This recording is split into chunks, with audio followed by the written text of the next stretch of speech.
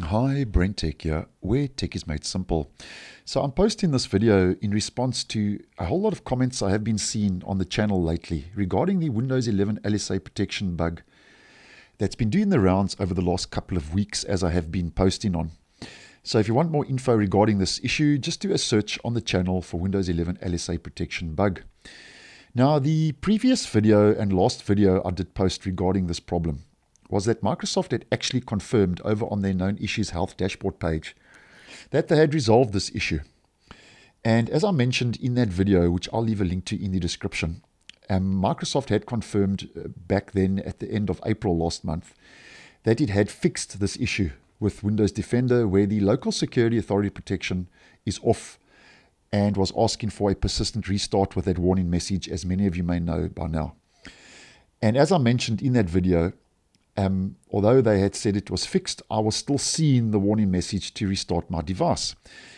Now, um, the latest now is I'm still seeing um, comments and um, reports and even videos online where people are saying that this issue has been resolved, including Microsoft, and I'm still going to say otherwise. This is now the third time I'm still saying otherwise. This issue, in my opinion, is not resolved.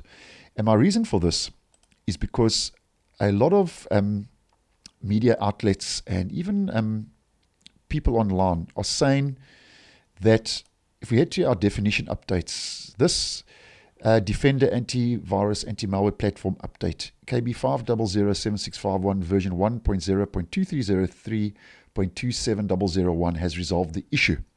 Microsoft also said that this um, update resolved the issue. Now, this update itself currently is almost a bug because every day it's getting reinstalled. And I've seen a whole lot of comments um, on the channel regarding this, and it's also, um, in my case, it's also happening. And you can see again today it was installed.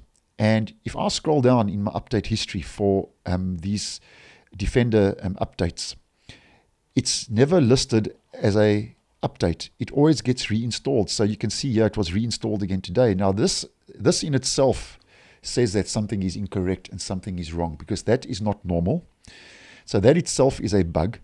And now, if we head over to our Windows Security app and we head to our device security, core isolation, and on the core isolation page, you can also see now that the local security authority protection section has been removed, which is not right. Now, Microsoft could have removed this because I'm seeing a lot of users and viewers of this channel saying that this section, including myself, as you can see, it's removed, is no longer there. It's disappeared.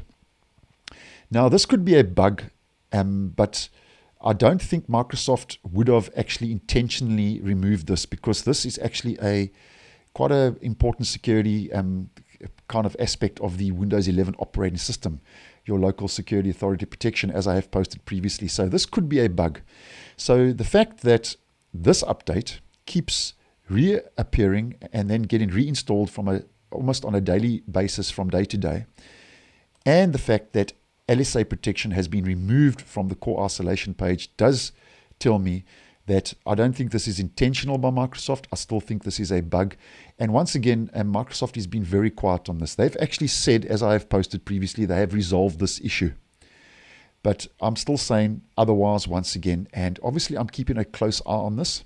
And just wanted to get us all on the same page because um, um, it's very hard for me and difficult for me to try and answer everybody's comment regarding the same issue. So I thought I'd just make one video and get us all on the same page and then obviously, if anything um, does, um, you know, uh, become available where um, Microsoft gives us more info or I get any news or any more info regarding this issue, um, I will post and let you know ASAP.